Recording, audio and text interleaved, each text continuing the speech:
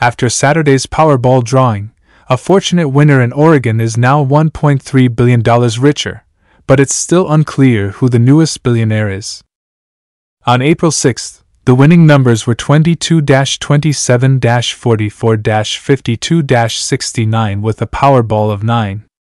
In the Beaver State, there was only one jackpot winner, according to lottery officials. The winner will receive a single sum payment of $621 million before taxes, or 29 monthly payments if they want to take home the entire jackpot. The lottery drawing, which was scheduled to begin at 11 p.m., was postponed in order to finish the necessary steps before the numbers were announced. The precise location of the winning tickets sale is still unknown. Winners in Oregon are not allowed to stay anonymous because their names are public knowledge.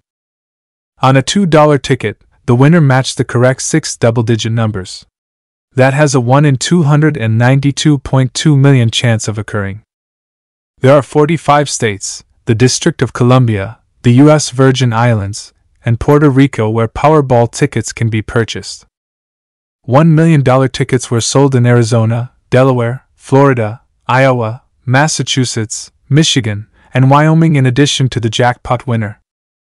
According to Powerball officials, one participating lottery that needed additional time to complete required pre draw procedures caused the regular late night drawing to be postponed. The security of the artwork was guaranteed by the precautions that were implemented. Before the numbers are drawn, all sold tickets are required by law to be examined and validated by two computer systems, according to Powerball. This makes it possible for every player to have an equal chance of winning. Officials from Powerball stated that one state required more time to finish the procedure, but they did not specify which state. Although it is regrettable, the postponement of tonight's Powerball drawing indicates that participating lotteries are abiding by the regulations put in place to safeguard the fairness of the game. Before the winning numbers are announced, each and every ticket purchased for this Saturday's Powerball drawing will be verified, according to lottery officials.